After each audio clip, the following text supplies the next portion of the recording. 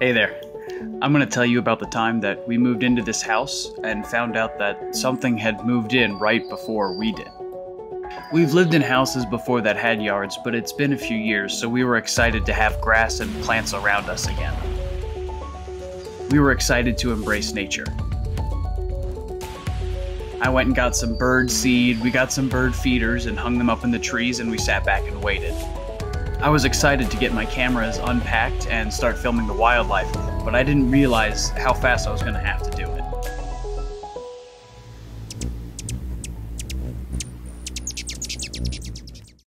After moving, I noticed that I would walk around the yard, and every time I walked by a certain tree, a hummingbird would fly right by my head, and it would be very close. I'd duck, It freaked me out.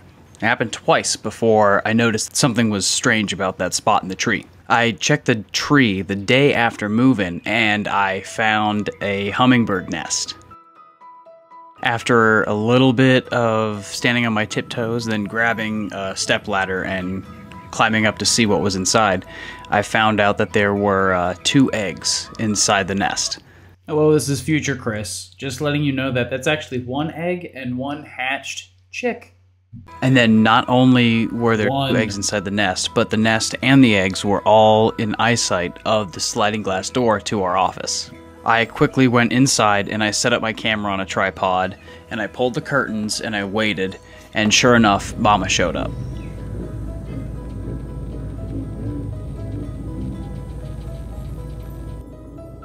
So that night, I let my camera record a little bit, and I got a lot of Mama sitting in the nest.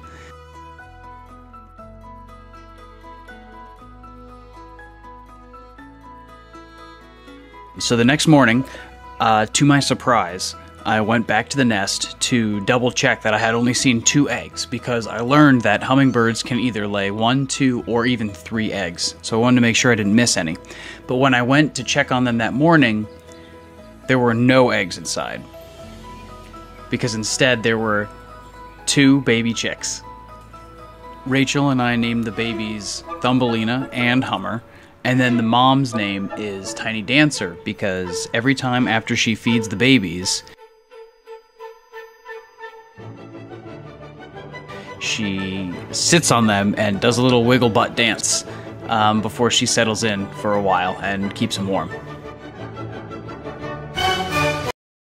So our house is situated on a rectangular lot where the house is in the back and there are a lot of walking paths surrounding the house and towards the front in the garden. I discovered that there were a lot of old squirrels' nests. They were no longer inhabited, probably because we just moved in. The hummingbird nest was situated right outside the office window towards the back of the house. I also found out that there is a nest of sparrows in the front.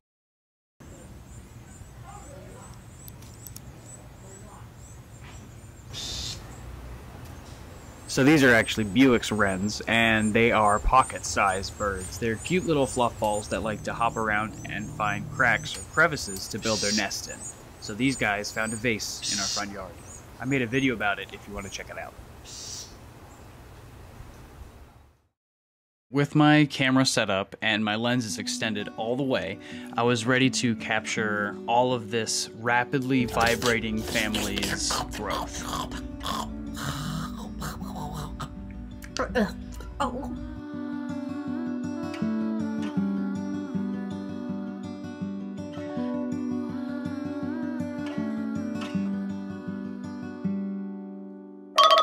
In one week, I was going to be starting a TV show that was going to be shooting for 10 days straight. So I wasn't going to be able to record much of the family during that time. So knowing what I was getting into, I did some research to see what I might be missing out on. I didn't look too much into egg incubation because I missed out on that part, but I did see that it takes about 20 days from the last egg laid.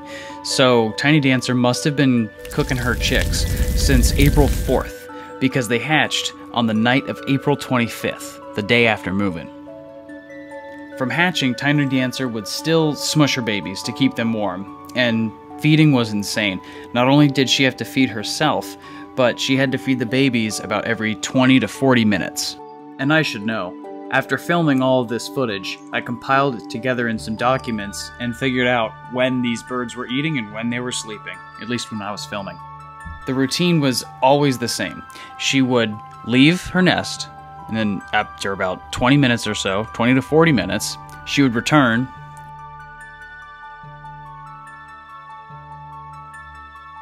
Vomit into the baby's mouths. Sit down for a while. Dance. And this process just repeated for days. Over that week, I watched them grow fast. Oh, Jesus. Oh, my God. Oh, jeez. Over the course of these next couple days, I actually got a lot of feeding. Ooh! Stabbed him. Anyways, yeah, what was I saying? Yeah, I got a lot of feeding on tape. Here's just a few of the good ones.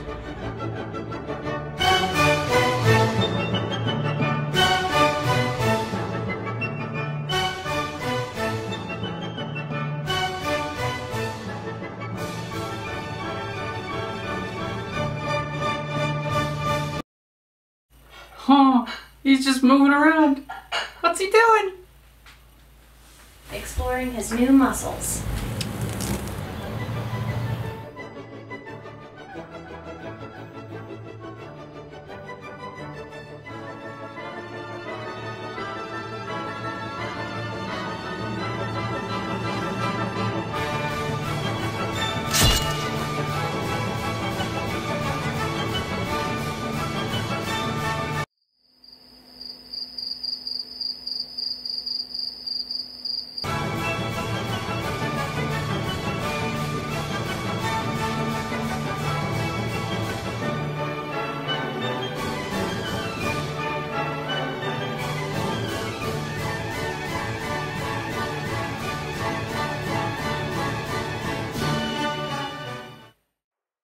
Put your hands together and welcome to the stage, Tiny Dancers.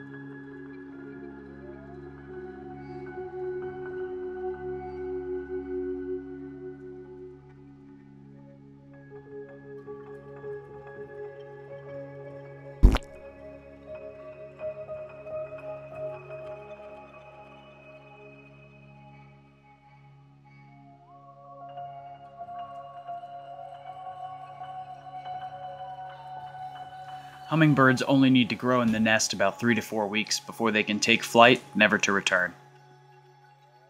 They'd be all grown up.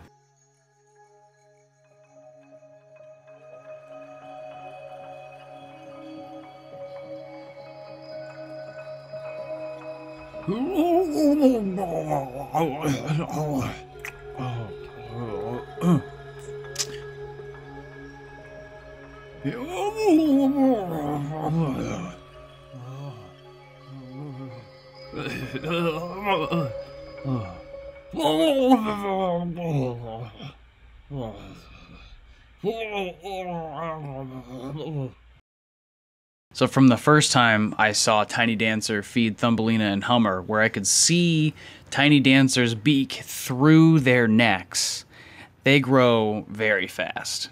I started to really notice it when their tiny little feathers started poking out. What does that even say? They looked like pokey little babies.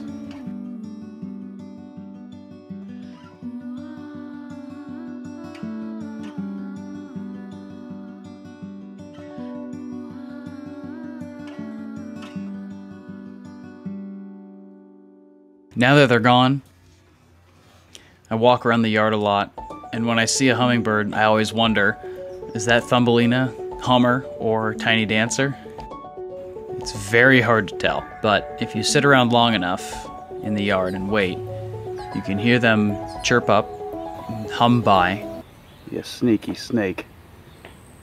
Oh shit. And if you're fast enough, you can see where they land, and you can uh, take a peek give it your best shot to see if it's one of them.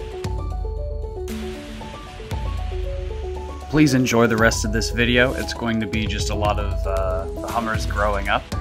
But uh, if you uh, enjoy this video, please like and subscribe. Thanks for watching.